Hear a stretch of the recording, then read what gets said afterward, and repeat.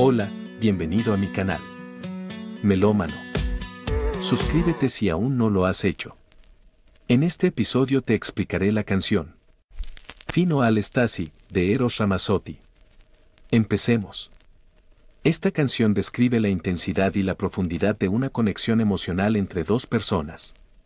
Habla de cómo una persona sonríe y provoca sentimientos en la otra, creando una especie de atracción y conexión emocional.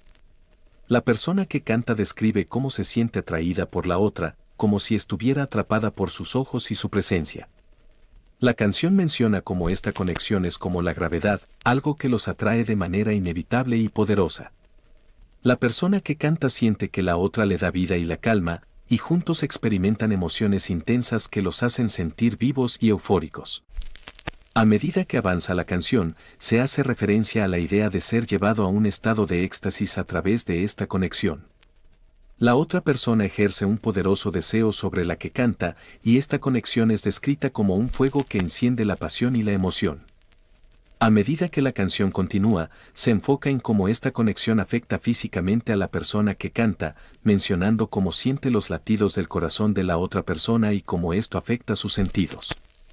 La canción hace hincapié en que esta relación va más allá de la fantasía y se convierte en algo real y significativo.